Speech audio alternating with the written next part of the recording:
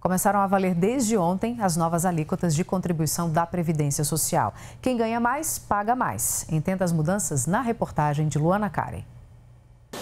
As mudanças atingem trabalhadores da iniciativa privada e servidores públicos. Para quem tem carteira assinada, o novo método de contribuição conta com quatro faixas.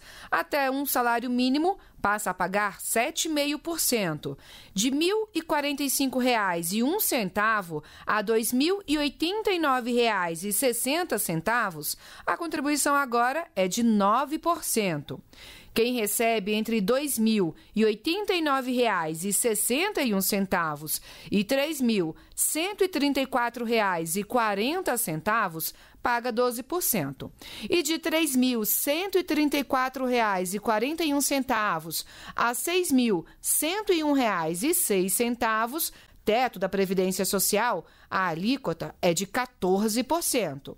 Os servidores públicos seguem a mesma regra até o teto da Previdência. A partir daí, tem mais quatro faixas de contribuição de acordo com o salário que recebem. A alíquota máxima é de 22%. São alterações que elas, é, tanto no regime geral como no regime é, próprio dos servidores da União, é, elas distribuem de forma mais adequada as alíquotas de contribuição é, um dos princípios da nova Previdência era cobrar menos de quem é, tem menos condições, cobrar mais de quem tem mais condições, de quem ganha mais. O novo modelo de alíquotas de contribuição da nova Previdência é semelhante ao já adotado na cobrança do imposto de renda. O imposto de renda também trabalha com essas faixas progressivas. Então, se um trabalhador ganha, por exemplo, é, 4 mil reais, que ele já estaria na última faixa, que é a faixa é, dos 14%, a alíquota efetiva que ele vai pagar vai ser menor do que 14%.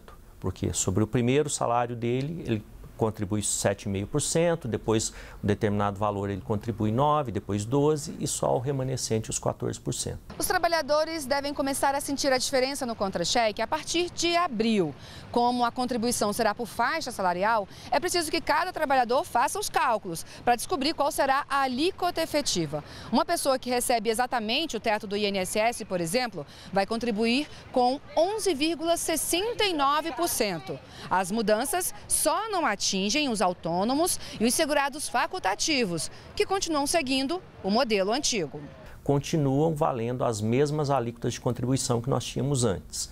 É, 20% para é, o contribuinte individual que trabalha por conta própria e para o segurado facultativo, ou 11% é, para o contribuinte individual que presta serviço a empresas.